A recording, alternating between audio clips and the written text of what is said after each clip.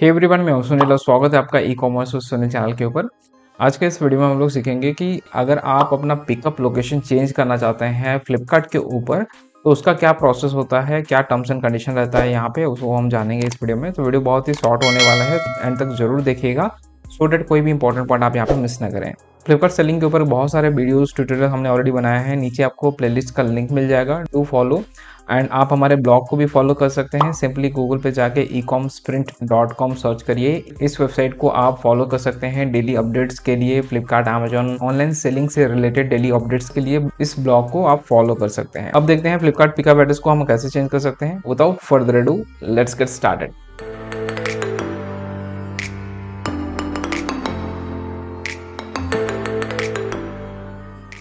तो सबसे पहले यहाँ पे हम बात करेंगे कि पिकअप एड्रेस चेंज करने का क्राइटेरिया क्या होता है, कैसे आप पिकअप एड्रेस चेंज कर सकते हैं, कैसे आपको पता चलेगा कि कौन से लोकेशन में फ्लिपकार्ट का पिकअप अवेलेबल है, किस लोकेशन में अवेलेबल नहीं है। फ़र्स्ट स्टेप यहाँ पे होता है कि आपको पता लगाना रहता है कि आप जिस पिन कोड में अपना वेयर हाउस ओपन करने वाले हैं या फिर जहाँ से आप शिपमेंट देने वाले हैं, वहाँ पे फ्लिपकार्ट का पिकअप पॉसिबल है या नहीं। बहुत सारे ऐसे सिटीज़ होते हैं जहाँ पे फ्लिपकार्ट का पिकअप नहीं हो पाता है डिलीवरी सभी जगह होता है बट पिकअप वहाँ से अरेंज नहीं हो पाता है।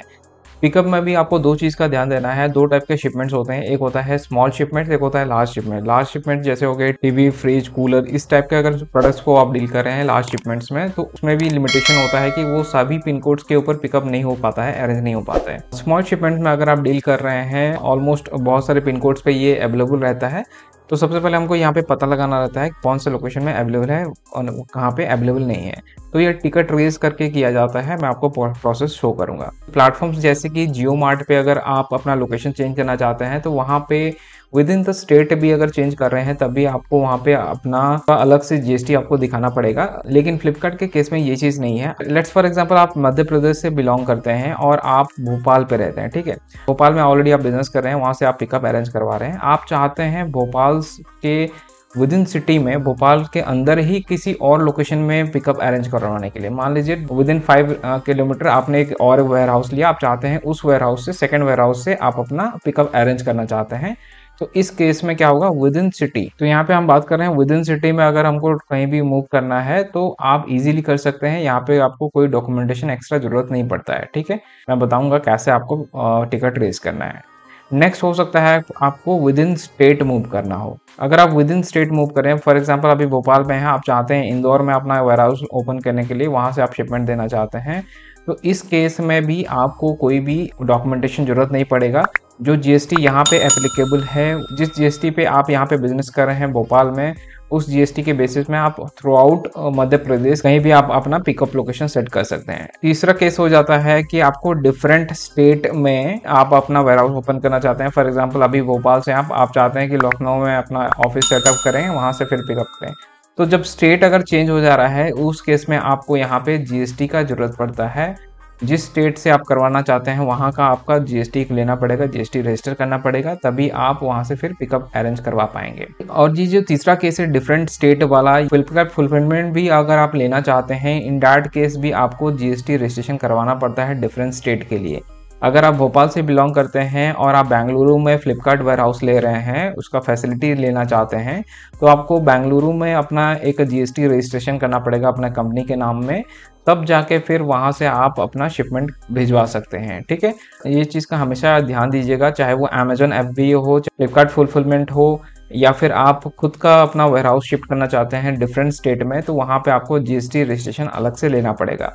जीएसटी रजिस्ट्रेशन के बारे में अगर जानना चाहते हैं तो आप खुद से अप्लाई कर सकते हैं। इसके ऊपर कंप्लीट एक वीडियो मैंने बताया है। आप लिंक दे दूँगा मैं नीचे डिस्क्रिप्शन में। आप उसको वॉच कर लीजिएगा। आप इजीली खुद से अप्लाई कर सकते हैं जीएसटी के लिए। अब हम देखेंगे किस तरीके से अपना पिन कोड को हम सेट कर सकते हैं, कैसे रिक्वेस्ट डाल सकते हैं वेयर हाउस पिन कोड या फिर वेयर हाउस एड्रेस को चेंज करने के लिए। तो इसके लिए आप अपना फ्लिपकार्ट के डैशबोर्ड पे चले जाइए हेल्प वाले सेक्शन पे जाइए। यहाँ पे सर्च क्वेरी में आपको पिन कोड सर्च करना है P I N C O D pin code search करिए।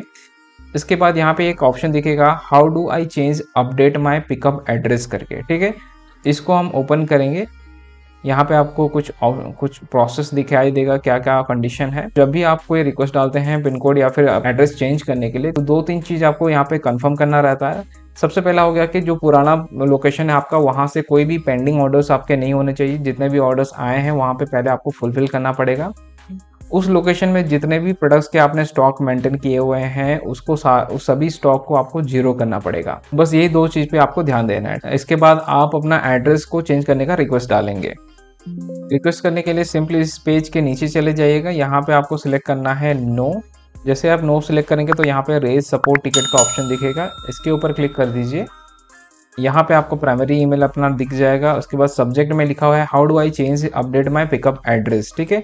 तो बेसिकली अगर आपको पता नहीं है कि जिस एड्रेस पे आप लोकेट करना चाहते हैं, वहाँ पे पिकअप पॉसिबल है या नहीं तो आप यहाँ पे पिन कोड का लिस्ट दे दीजिएगा। यहाँ पे लिख दीजिएगा डिस्क्रिप्शन में कि इन पिन कोड्स को हम कंसिडर कर रहे हैं पिकअप अरेंज करने के लिए। आप हमको बताइए कि इन पिन कोड्स में लार्ज शिपमेंट या फिर स्मॉल शिपमेंट का पिकअप पॉसिबल है या नहीं है? मैं आपको फॉर्मेट यहाँ पे दे दे रहा हूँ, क्या लिख सकते हैं। तो इस तरीके से आप मैसेज लिख सकते हैं hello team we are looking forward to change the pickup location but the location is not confirm yet The location would be confirmed if eCart pickup service is available in that particular pin code.